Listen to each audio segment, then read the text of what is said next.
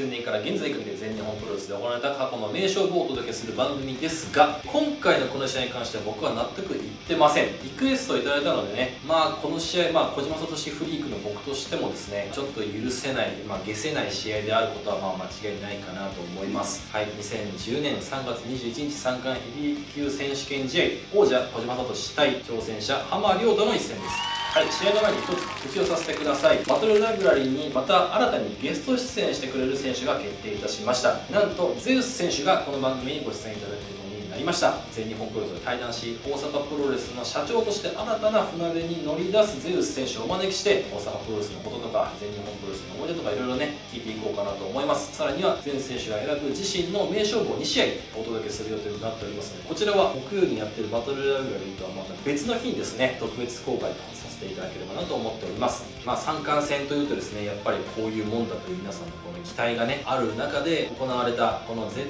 対王者小島聡対デビューしたというの新人浜亮太という試合。小島聡選手というとですねもう全日本プロレスのエースでありもう本当絶対王者として君臨している選手です。1 8 3センチ113キロと浜亮太選手が200キロということで約90キロの差がある中での試合ということになっております。2005年に川田利明選手を下して自身初の三冠ヘビー級王座を戴冠してから連続防衛を8度重ねると。さらにはタッグ屋としてもですね天コジを復活させ2006年の世界最強タッグ級 K リーグ戦を優勝。さらに2008年でも優勝すると。そしてその間2007年から約1年間ですねウーマザーズに入ったりまた抜けたりとか、え、するわけですけどもその流れの中で最後 F4 というチームができました。この F4 というチームの頃にですね外敵だった高山善廣選手を下し自身2度目の三冠ヘビー級王座戴冠を成し遂げることになります。久々に三冠ベルトを持って年を越した小島聡選手でしたが年を明けてから2月にですね行われたウーマザーズとの敗者ユニット解散キャプテンフォールイリミネーションマッチ。こちらにですねまさかの敗北してしまう最後の最後ですね三冠ヘビー級チャンピオンだった小島聡選手がまさかのパル選手からピンフォール負けと F4 というチームが電撃的に解散させられることになります。そしてその翌月今回のこの浜亮太戦が組まれたということでユニット解散という精神的負荷を抱えながらもなんとか三冠ヘビー級王座だけはもう防衛せねばというような一戦となっております。対する浜亮太選手もう本当にですねデビューする前からあれは何だとリングで試合している選手より明らかに大きい選手そんな練習生がリング下にいたら絶対試合よりそっちに目が行くじゃないですか。そういうねもうとてつもないインパクトがもう練習生時代からあったわけですけども浜亮太選手1979年生まれ176センチ203キロこの試合の通りですね。もともとは角界出身でそこからプロレス転向するわけですけども角界の時代が長かったためか28歳にして全日本プロレスに入団すると。しかしですねこのキャラクターを見た全日本は各界では横綱としてですね絶大なインパクトを残していた化け物選手とのデビュー戦ということでいきなりこの破格の待遇を浜亮太選手に用意したと。これですねこのデビュー数日後には先輩レスラーである荒井信選手から初勝利を挙げるなどさらには同じ月に始まった世界最強タッグ決定リーグ戦に化け物選手と組んでの出場を果たすということでもう本当にこのデビューしてからですねもうどんどんどんどんこの成長をね遂げていったわけです。2009年にはですね自身初のチャンピオンカーニバル出場ということで2勝3敗とデビュー間もない新人が2勝を挙げてリーグ戦を終えると普通に考えてたらすごいことだなと思いますね同じ年の9月化け物選手とアジアタック王座を体感いたしましたそしてこの2009年の年末プロレス大賞最優秀タッグ賞と新人賞をダブル受賞すると浜亮太というキャラクターがですね日本プロレスマット界の注目を一気に集めたと言ってもこの過言ではないようなこのダブル受賞を果たすことになるわけです年を明けてからですねその勢いがますます増していくことになります。三冠ヘビー級チャンピオンであった小島聡選手にタッグマッチでピンフォールを奪うそして当時の社長であった武藤敬司からもピンフォールを奪ったこの実績を持って自らのマイクパフォーマンスで三冠挑戦を手繰り寄せました。またですね意外とこのマイクが上手なんですよね。デビュー間もない新人が啖呵を切ると俺を無視できるのかというマイクパフォーマンスを行い三冠ヘビー級王座挑戦を受諾させたわけです。自身初の三冠ヘビー級王座挑戦ということになります。デビュー間もない新人がですねきなりこの三冠ヘビー級王座挑戦するということでまあその資格はねここまで約1年半の活躍を見ればね納得はするもののやはりこうまだまだ三冠ヘビー級王座は遠いぞという、え格をねぜひ見せてもらいたい試合とかたや小島聡というとこの三冠ヘビー級王者を巻くまで相当苦労したわけですね、まあ、それに比べてね今回このあっさりとやけにあっさりと浜亮太という選手が三冠ヘビー級選手権にたどり着いたわけです。この試合がですね後にまあいろいろなこの物議を醸すということになります。ちょいちょいこの試合をね見せてくださいっていう人がねいるんですけど完全にスルーしてきました。この試合をリクエストした人たちはぜひ全員1万回ずつ見るようにということを固くお願いしてこの試合をぜひ最後までご覧いただければなと思います。2009年9月帝王高山義弘を下し全日本の司法を奪還。およそ3年ぶりに三冠ヘビー級王者に返り咲いた小島聡そんな王者に対し真っ先に挑戦を表明したのは意外な男だった。もう体調もいいし勢いもあるうちに三冠挑戦したいと考えております。誰も予想しなかった浜の挑戦表明。しかしこの発言には確かな裏打ちがあった。2009年9月にあけぼのとのコンビスモップでアジアタッグ王者に君臨さらに2009プロレス大賞の最優秀タッグ賞と新人賞をダブル受賞。そんな浜を新世代軍の仲間がバックアップ。2010年の開幕戦ではタッグマッチながら小島から直接ピンフォールをダッシュ。これ以上ない三冠挑戦アピールに成功した。この現状を見たでしょ週刊サラサーシの星野さんとしては三冠のベルトもぜひとも巻きたいですもはや勢いの一言では片付けられない浜の活躍。2月には武藤敬司からもピンフォール勝ちをダッシュした。そして今は自分の想像をしている以上に波に乗ってると思います。波に乗ってるうちに3回挑戦よろしくお願いいたします。僕がチャンピオンの立場だったらリベンジしたいと考えるはずなんですよ。眼中にないのかそれとも逃げてるのかどうか分かんないですけど、まあ、眼中にないとしたらすごい悔しかったし社長からあのホール取れたんでこれをまた自信にしてぜひ挑戦したいと思います。王者からの返答がないまま迎えた大阪大会。ここでも浜は小島を圧倒。最後は王者の目の前で堂々のピンフォール勝ちを収め自信を持ってマイクを取った。社長からもそしてお前からもフォール取ってんだこら。今のこの俺の勢いお前無視できるのかこら。調子に乗るのもいい加減にしろよこれはああ。三冠挑戦受けるに決まってんだろバカ野郎おい。一つ条件がある。アジアタッグのベルトにも挑戦させろ。小島がアジアタッグ挑戦を要求。これに対し王者組は浜ちゃんが調整できるんだったらやってやるよ。いつでもどこでもやってやる三冠とアジアタッグ。小島と浜は3月シリーズで2つの王座をかけて激突することに。相撲界では13年いまして頂点どころか関取になったこともありません。ですが今は自分の想像をしている以上に波に乗ってると思います。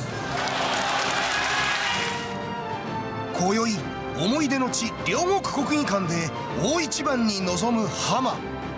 デビュー1年4ヶ月での三冠挑戦は史上最短。さらにもし体感すれば諏訪間の記録を破りデビューから最短での三冠王者となる。しかし王者小島も負けるわけにはいかない。キャリア18年目にして再び掴んだ全日本の司法武藤不在の今だからこそエースとしてこのベルトを守り抜く。こうやってベルトを巻くことができたのは自分一人の力ではありません。少しでも自分の試合を見て勇気を持ってくれる人がいるのであれば頑張って続けたいと思います。全日本のエースとして王者小島が防衛するのか？浜が勢いのまま四方ダッシュを成し遂げるのか？運命の一戦待ったなし。三冠ヘビー級選手権試合チャンピオン小島聡 VS チャレンジャー浜亮太。どんどこどんは相撲の櫓太鼓であります。ただいまの表情ではその丸い土俵から四角いリングに戦いの場を移したのがちょうど1年と4ヶ月前。相撲では果たせなかった横綱という座。それをプロレスで果たそうとしています。プロレスの横綱三冠王座に王手をかけた。この一番に勝てばプロレスの横綱に昇進。慣れ親しんだ相撲ありな両国国技館。千秋楽結びの一番待ったなし三冠ヘビー級選手権試合。チャレンジャーとして。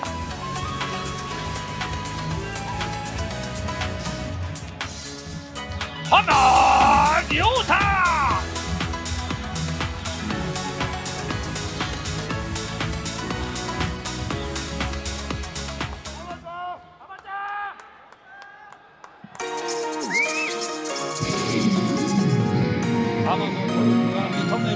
ここはプロレス四角いジャングル。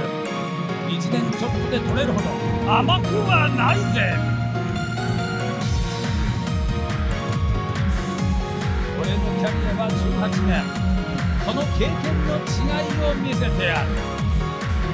プロレスは勢いだけでは勝てないぜ。元無題の今回の両国王者の意地と責任でしっかりと締めさせていただきます。2010プロレスの日両国ボリューム9メインイベント三冠ヘビー級選手権試合。チャンピオンはこの俺小島聡。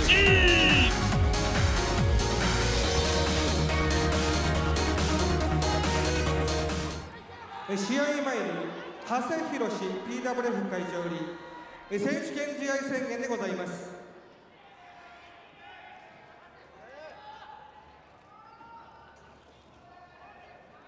認定証。この試合は PWF が認定するインターナショナルヘビー級 PWF ヘビー級並びに UN ヘビー級の三冠ヘビー級選手権試合であることをここに宣言する。このシリーズ最後の結びの一番です。横綱相撲を期待します。2010年3月21日 PWF 会長長谷博続きましてチャンピオン小島聡よりチャンピオンベルトの返還です。再び腰に巻くかチャンピオンの小島聡。それとも初体感なるか。チャレンジャーの浜亮太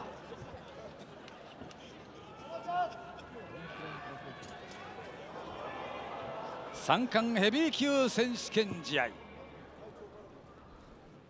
本日のメインイベント三冠ヘビー級選手権試合60分一本勝負を行います。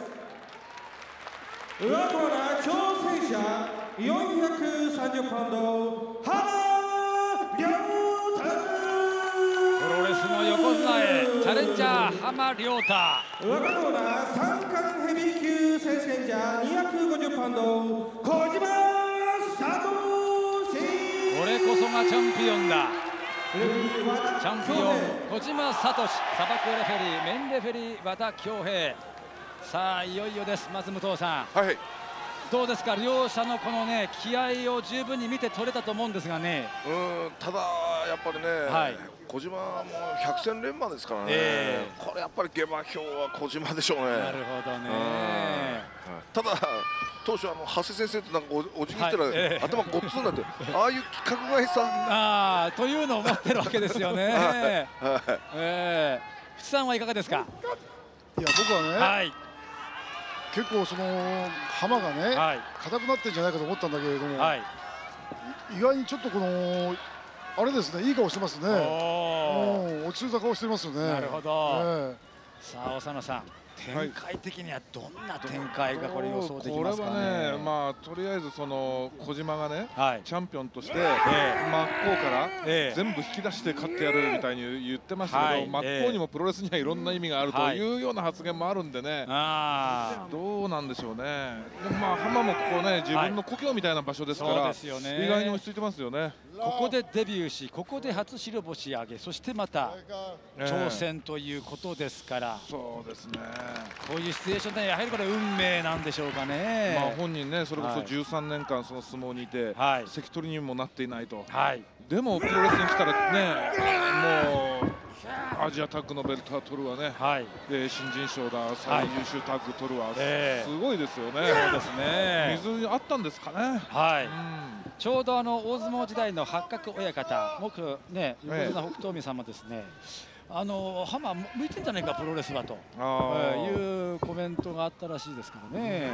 まあ、あとは入門、全日本に入ってきた時は185キロだったはずなんですよ、はい。え普通プロレスに入ったら肉体改造して痩せろうんぬんって話になるのが、逆に太れと20キロ増えたじゃないですか、はい。そのあたりのやはり武藤さんのこの育て方というのがね、はい。あの合ってたんだなっていう。うん。そのあたり武藤さんどうですか？あえて20キロ増やしました。203キロ現在。普通ね、俺ね、はい。あの先週もずっと巡業行ってたんですよ、ええええあの怪我してからですね。大体こうタイトルマッチとか組まれたら胃がちょっとこうあれしたりして緊張であんまり食えなくなるはずなんですけど、はい。え全然そんなことなかったですね。これも規格外ですね。やはりね。はいはい。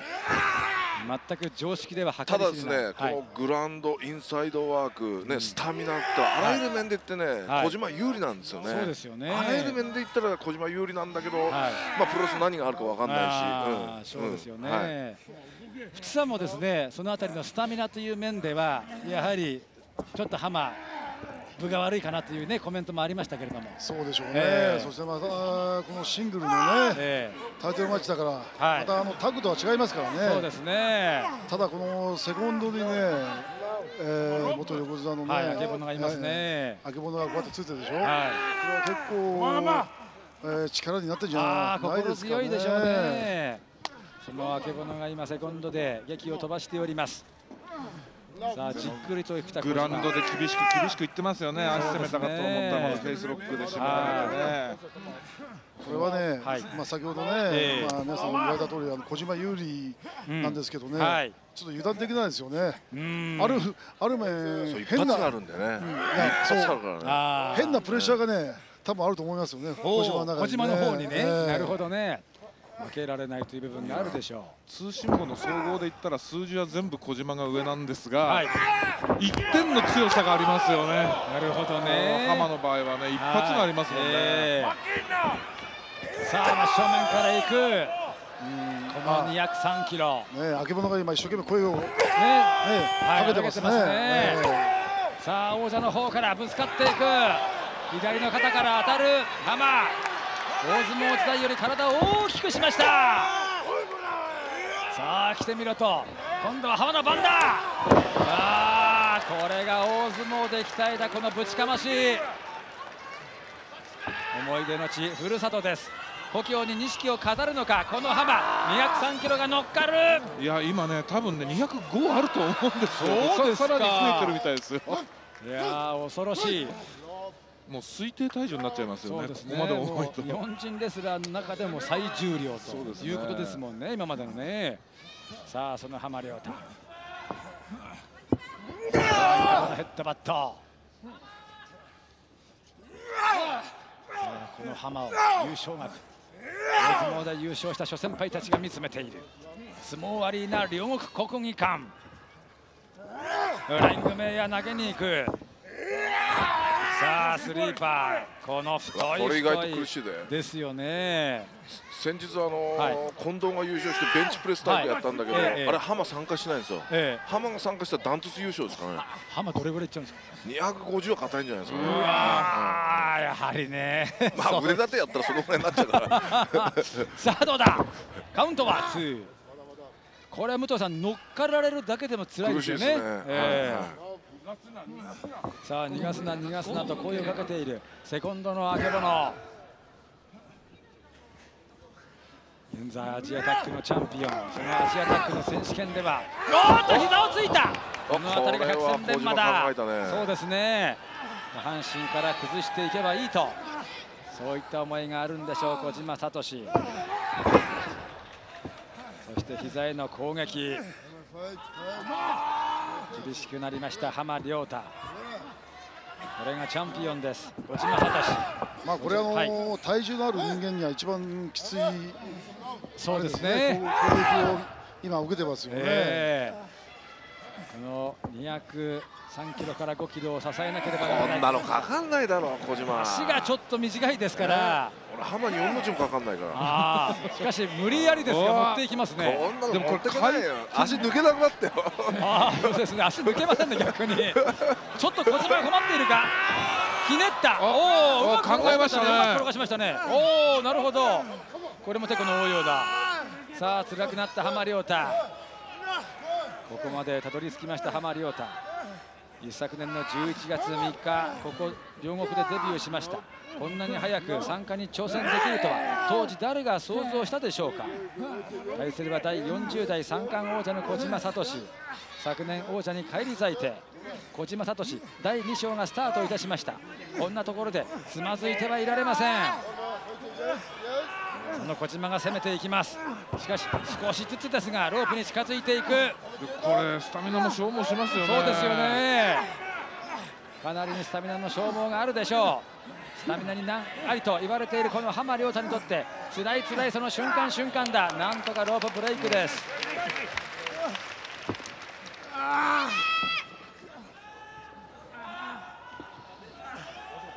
度重なる怪我があって。はいちょっとくね辛くなってきましたね。足への集中攻撃。今度は肩逆エビの体勢。足を取って。あーこれは膝へのダメージもあるでしょう。そして腰を十分に落とした。さあ長野さん。小島もやはり考えてますね。そうですね。こういう形に持ってかれちゃうとね、はい。ちょっと浜はね、ええ爆発力発揮できないですね。そうですねあー体が辛いこれは小島もきついだろう。これ本当浜は両足重たいからね。そうですよね。さあ小島も必死の形相ああまだ胸を反るまでには至りませんでした。ただもう足の力で返してきましたね。そうですね、しかし武藤さんかなりのダメージがあることは間違いないですよね。そうですね、ええ。体重あるからね、ええ。そこへの攻撃相撲はダウンした瞬間にその瞬間に勝負が決してしまいますがプロレスの場合は転がしてからも勝負です。さあ小島がうまい攻めを見せている。サイドからの蹴り相手の膝への攻撃そして今度は逆水平のチョップ。小島の時間だ。一発一発入魂魂を込めて。これも痛そうだな。そうですね。痛いんだ俺食らってるけどあーそうですか武藤さんがうなるほどの痛さこの小島の逆水平。さあよーしと自ら気合い気合を入れるが動きません。どっしりと腰を落としてしまいました。円髄切り。飛び技を駆使いたしますチャンピオンの小島聡。前回のチャンピオン時代飛ぶかよ。さあどうする？おー飛んだなんとかコーナーに連れていった。さあ行っちゃうのか。小島がトップロープに上がる。ダイビングエルボードロップ。浜の動きがちょっと止まってしまいました。返せるか？カウントは2いや意外と小島攻め疲れてるよ。そうですか。そうかもしれないですね。重いから重いから。なるほどね想像以上にスタミナを消耗しているということです。攻めきれなかったらっていうのがありますよね。なるほどね。そういうことか。さあ打ち合う。うわ。一発一発。負けるなと劇を飛ばす。あけぼのその期待に応えることができるのか。ローリングエルボー。し。かし倒れませんねサイドを取ってサイドバス。これをえー前体重が乗っかりました。さあ今間近でご覧になってドンピシャで入りましたもんね。恐ろしいなこれは。え。この一発なんだよな。そうですね。さあ攻守逆転で200キロオーバーのこの体重がうなりを上げて突進です。さあ長野さんこれはと面白くなってきましたよ。そうですね、ええ。さあ腰を割って両国見てくれとスティックフェイス。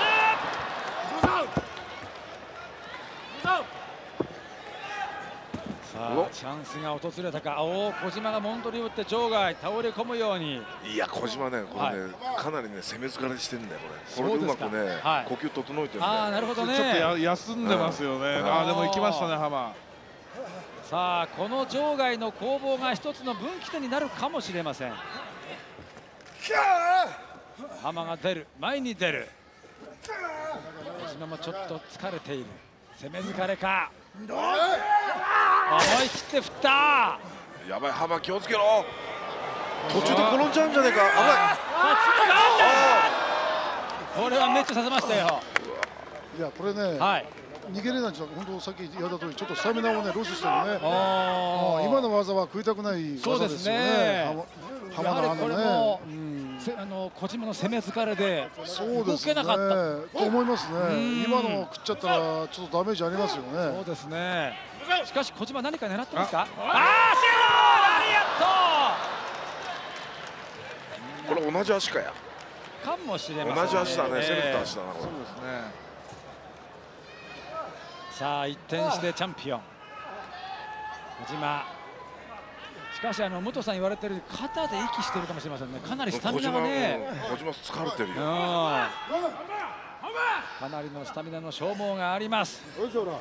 この攻撃でちょっと小島息整えられますよね。そうですね。さあ左の膝だった。おっとブランチャー。珍しいな。小島も必死なんでしょう。ブランチャー観光何をする気だ、えー、場外です。DDT ああめり込むように顔面から落とした。体重が首に乗ってしまいます。さあ長野さんこれはしかし難しい勝負になってきましたね。そうですね、えー、浜のねスタミナというのもどこまであるのかね、ねちょっと未知数のところありますからね。はい本人の努力で最強タッグにもチャンピオンカーニバルにも出場いたしましたこの浜。そしていよいよ。なんで小島危んだよ。あ強引に中に入れ込みますね。あくまでも勝負はリングの中でということなんでしょう。これがチャンピオンの意地と責任。最後は綺麗に俺が締めると。小島聡 DDT もうリングがきしみますあこれはあれだね。ラリアートへの布石でしょうね、はい、そんな感じしますなるほど。足の足の後には何をするんだよ小島。ネックブリーカーだな。ですか、うん、あでもこれは肩痛めちゃう大丈夫かネックブリーカードロップ。あれ紙一重ですよね、うん、おだってあいつが乗っかって相手が乗っかってくる可能性あるもんね。自分の肩に 逆に。ダメダメちゃうからね。なるほどなるほど。意外と隣り合わせ危ない技であったわけでやります。さあ今度はこじこじカッターか。しかし相手は203キロ。なかなかおおボディに1発2発3発と。お首を取る。チョークスラムで叩き落とし潰す。一個一個は。そうですね。一個一個はすごいなやっぱり。あしかし膝が痛いかかなりダメージを負っている。うん次の攻めが出せないのか。スタミナも厳しいね。そうですね、うんそれでも浜がエレバードラップ全体重を乗せるカウントは2いやこれ跳ねるだけでも本当にねスタミナそうですね。使っちゃうね、えー、さあ一発一発重い今度はギロチンドラップ。一発一発確かめるように落としていく。さあ綺麗に決まった。浜がおっと起きて破りのラリアット。ホールはどうだ？カウント2この技で取られるわけにはいきません小い島。や意外と俺短期決戦だと思ったけど15分いってますね。ね行きましたね。問題は浜のスタミナです。お前に出てる分にはいいのかもしれない。ロープに送ってガリアットこれを切る。こじこじカウンタいやいやいやいやいや爪かこれで。ーかもしれませんね。さあ勝負に出るのか、ねこの体重があるから、え相手にダメージ与えると自分が食っちゃうとその分ダメージは大きいですよね、はい、こじこじカッターもう一発。首に自分の体重がね全てかかっちゃうんですからね。ああそうですよねさっきの浜のラリアットが小島に火つけちゃったかもしれないですね、さあ電気の砲塔を抜く。浜。どう刑事も激を飛ばすどうだダメか。浜。これが最ダメか王者。取ったかおっと2カウントは2カウント。よく返しました。さあ激を飛ばすが目をつむってしまった浜。これを長野さんドンピシャって今決まりましたもんあねー今のラリアットすごかったですね、すごい音でしたね。これもう一発食ったらもうダメでしょう。さあ最後の一発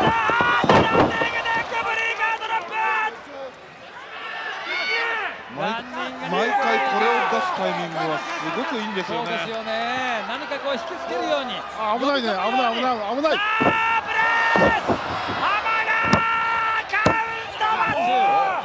危ないな今のあこれイーブンになってるよイーブンだよ。さあこれは勝負に出ますか？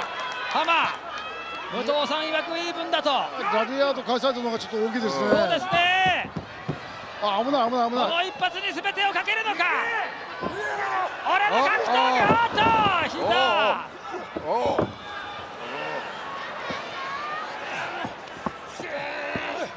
さあフェイスロックだ。ロープ近いな。ロープ近いですね。いやそうそうそうそう。腕を取らないと腕をロックして動きを封じ込めた。しかしちょっとロープが近いところ。さあどうだ？ちょっと苦しい。ちょっと苦しい。これあのーはい。小島の太い腕でね、口と鼻を押さえてるから苦しいですよね。なるほど。フォールの体勢はどうだ？2カウントは2カウントこっからですね。こっからだね。こっからしんどいぞお互い。さあいくこれを切った。上から切ったのは浜。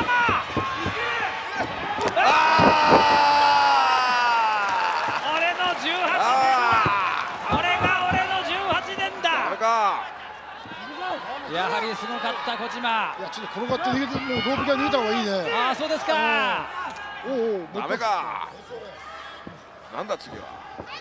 さあラリアットか。ロープに送って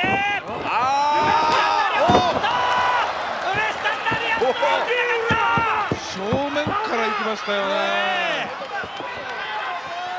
相撲生活13年プロレス1年と4ヶ月もしかえお決まるぞおまった決まった決まった決まったいやいや小島やばいぞ今の完璧な形でしたよね小島やばいぞ今逆にいやよく返したね。そうですね。よく返したよ小島さあ浜はどう攻めるんだ？いやこれすごいチャンスだね浜危ない危ない。あ今こ小島やばいぞ打つか。浜打てば。やばいぞ。しかし小島も分かっているのかいやでも小島もつらいでこんだけ打ってさはい。こんだけ打って反撃されるんだからね。ねえかつてなかったでしょ肉体がすごいんだろうね浜野。うそうですね。やはり強いでしょうね。体も強いでしょう浜。こんなに長い勝負になるとは予想もしませんでした。短ければ浜にチャンスがあるとは思ったんです。おおラブポーズでなんだおいおい。何なんだよシャインカウェイダード浜ちゃんウェイダードどうだカウント2武藤さんいかがですかえどう答えていいか分かんないよ武藤さんもコメントに困っている武藤刑事もコメントに困ってしまったんだでも本当にね想定外のことしますよねですね20分経過おおなんだよなんだよもう一発切ったら危ないやばいぞやばいぞやばいぞおお決まるぞ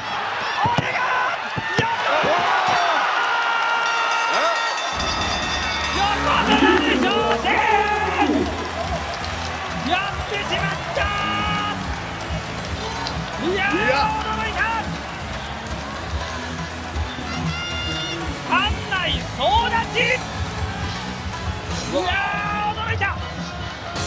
武藤さん、やってしまったあの男は。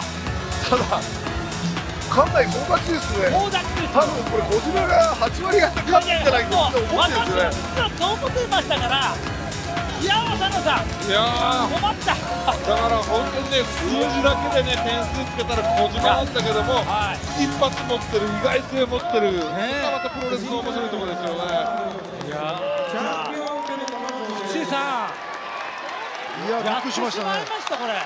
驚きました。いやーびっくりしたないや長谷会長も内心びっくりしてるんじゃないですかこれ。でしょうね。これベルトちょっとサイズ変えなくちゃいけないのかな。いや、ねえ、ベルト巻くことはできないかもしれませんが3本のベルト。いやー史上最短。1年4ヶ月。いやすごいことをして勝ちましたね驚いた第42代チャンピオン浜亮太プロレスの横綱に昇進いや浜泣いてるよ。ねえ相撲では積点にもなりませんでした。東幕下6枚目の男がプロレスで超人に超人を重ねた。そして今日2010年の3月の21日見事ここ聖地両国故郷に錦を飾る浜が泣いています生まれ育ったここ両国国技館相撲アリーナ浜泣いてるよ浜が泣いてますね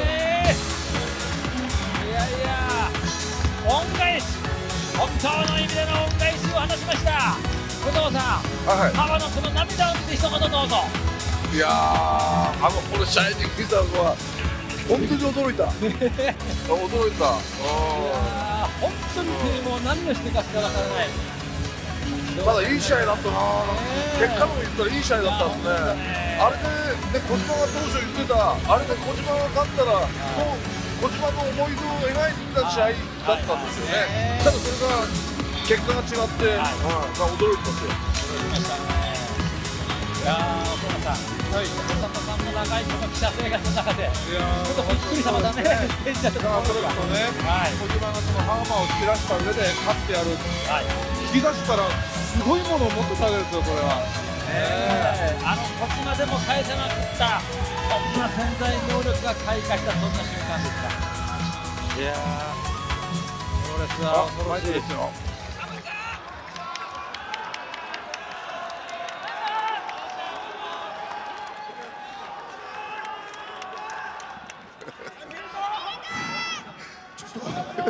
言葉にならないですすいませんいやー浜が泣いている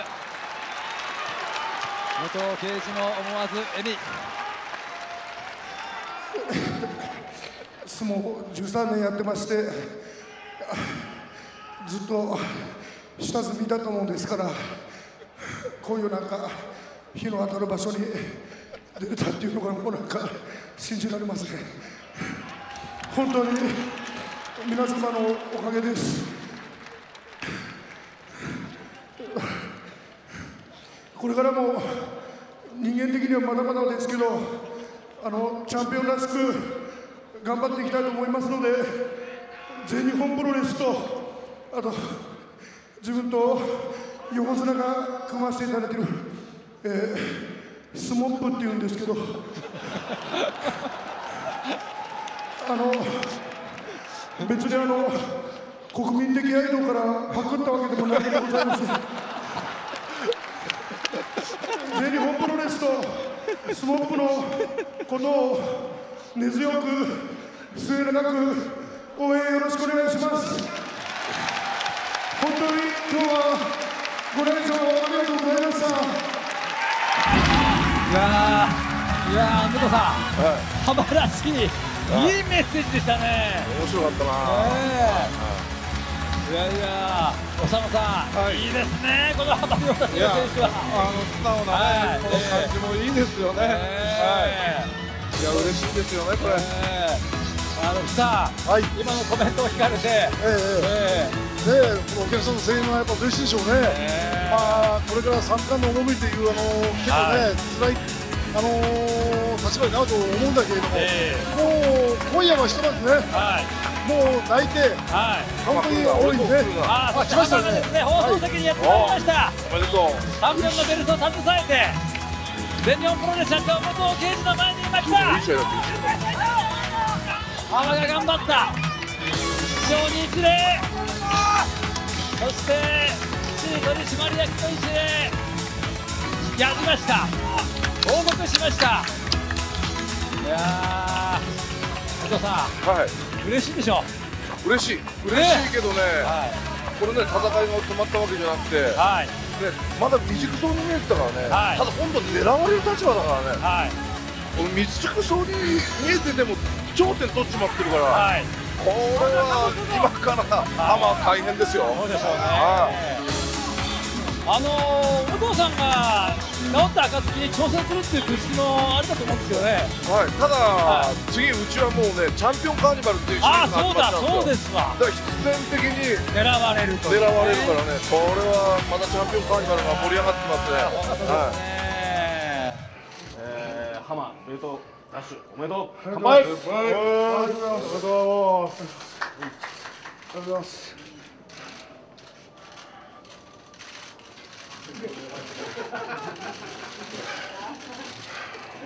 しみる全部夢のことねでちょっと。わかりませんけど。信信じられないです。今は。信じられない気持ちで。もう何が何だか分からない幕下から一気に横綱。3階級特殊みたいな。5階級特殊ぐらいじゃないいや、ち本当意味がわかんないです。もうそそう言われてもピンとこないですね。うんまああの硬くならないで無心でいけたっていうのが一番良かったと思いますけど、いつも余計なこと考えるとあのろくなことなかったもんですから。さっきもリング上であのお話しさせさせてもらったんですけど、あのあの人間的にはまだまだなんで、あのでもまあ本当今日チャンピオンになることできたんで、これからもチャンピオンらしく人間的にも成長していければいいなと思います。はい、いければいいなというか成長するように頑張ります。はい、自分の体重より重いと思うんで、これからも。そのプレッシャーに押しつぶされないように精神的に強くなりたいです、はい、いやーちょっとまだ何も考えられないですもう今とにかくもう休みたいというのが本音であって、はい、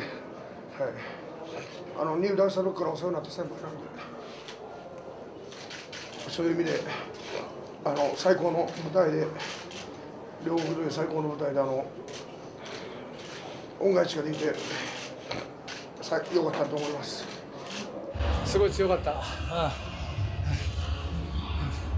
すげえいい技いっぱい食らった。